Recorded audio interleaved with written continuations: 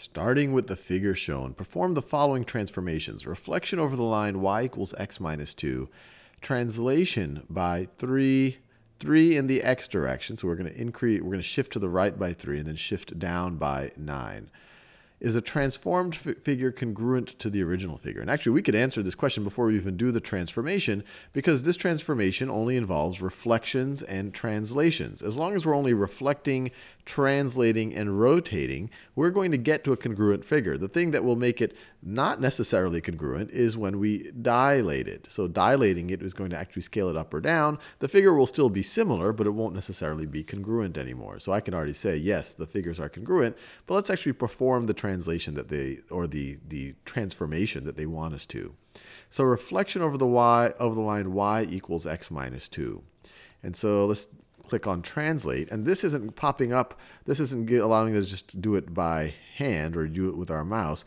They want us to they want us to they want us to think about how much actually we don't want to translate first. We want to reflect first.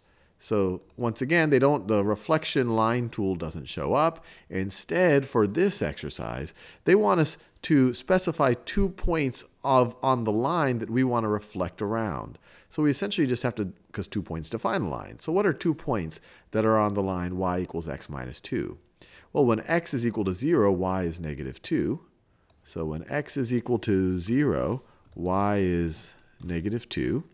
And then another point on it that might jump out at you, when x is 2, y is 0. When x is 2, y is 0. So we just need any two different points on that line. And then notice, y equals x minus 2 is a line that looks like this. I'm just going to kind of trace it. I don't have my drawing tool out right now. So it's a line that looks something like something like that. Actually, let me let me do it just because I think it'll be interesting to look at. So let me copy and paste. Let me copy and paste this right over here.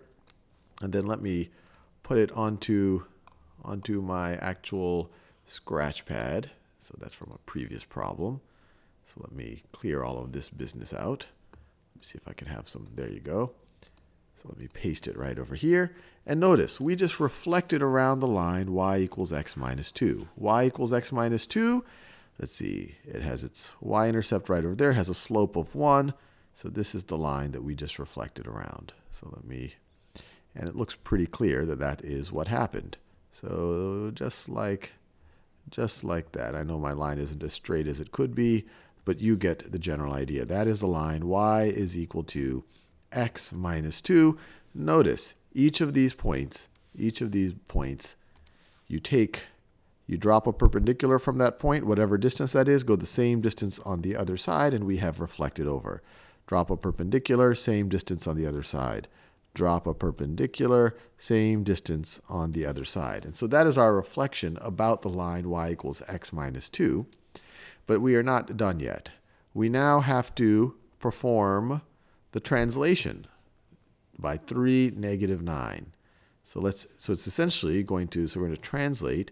So when we do it by 3, it's going to shift this to the right by 3.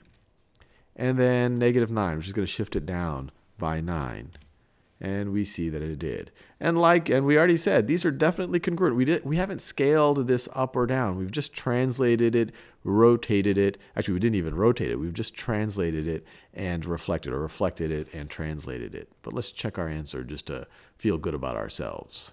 And we got it right.